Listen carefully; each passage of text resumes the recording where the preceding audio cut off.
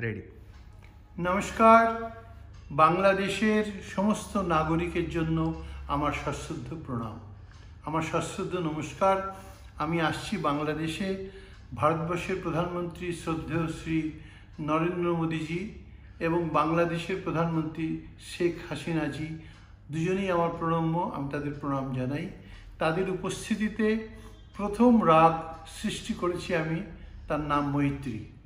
সৃষ্টি করেছি মানে ঈশ্বরের সৃষ্টি, আমি তার দাসানুদাস। কিন্তু এই রাগ কখনো ভারতীয় সঙ্গীতে গাওয়া হয়নি। এটা প্রথম ফর দ্য ফার্স্ট টাইম এবং এটা হচ্ছে কম্বিনেশন অফ আভোগী এবং হেমন্ত। হেমন্ত হচ্ছেন বাবা আলাউদ্দিন খান সাহেবের সৃষ্ট রাগ। কাজী বাবা আলাউদ্দিন খান সাহেবের বাংলাদেশে ছিলেন এবং আমার বাবা মার জন্মও বাংলাদেশে।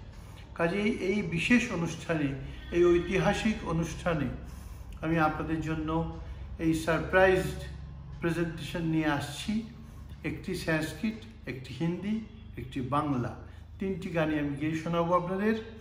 এবং সংস্কৃত গানটি আমার বন্ধু, পৃথিবী বিখ্যাত দার্শনিক ডক্টর অরিন্দম চক্রবর্তী লিখেছেন এবং হিন্দি গান লিখেছেন ডক্টর সুস্মিতা বসু মজুমদার এবং ডক্টর রবি বর্মনজি এবং বাংলা গানটি লিখেছেন শ্রী অনল চট্টোপাধ্যায়, আমার ছাত্র এবং পুত্রবধ।